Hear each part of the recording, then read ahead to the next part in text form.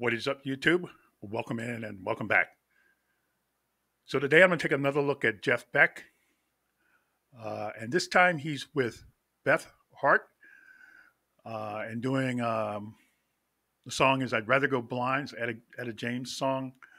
Um, I I think I, I, I know I've heard I've heard of her name before, and I probably have heard some of her stuff she's done but I can't think of anything in particular right now. Um, but um, you know, she's she's singing with Jeff Beck, so she's got to be good.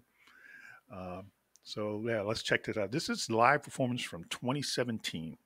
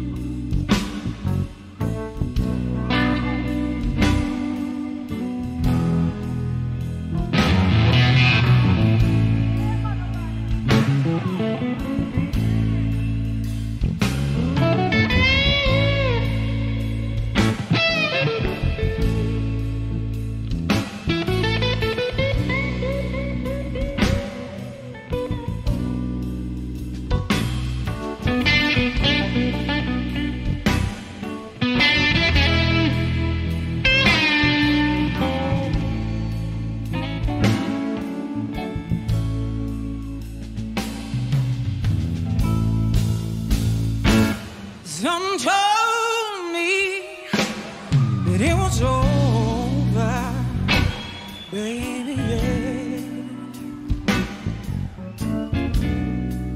When I saw you, when I saw you and that girl, you were talking.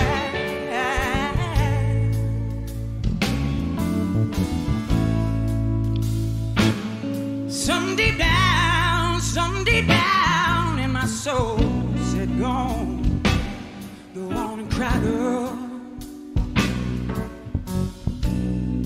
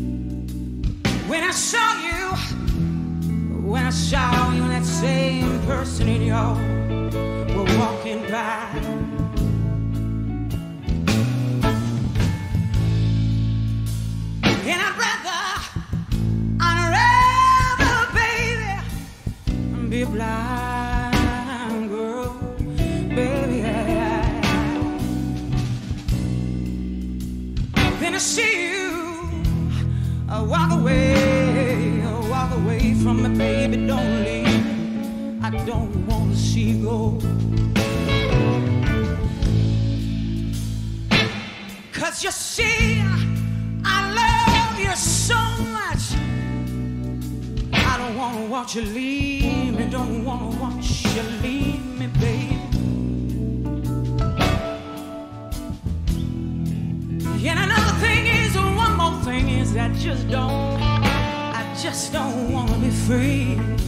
Scared to be by myself. I was just, I was just sitting here thinking about your sweet kiss and your, your, your.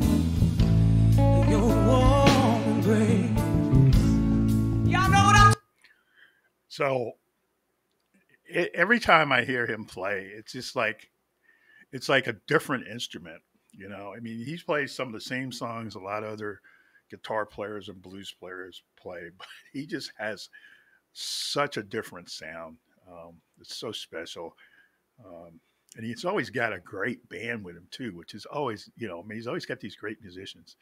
Um, so I'm anticipating a really kick ass guitar solo coming up.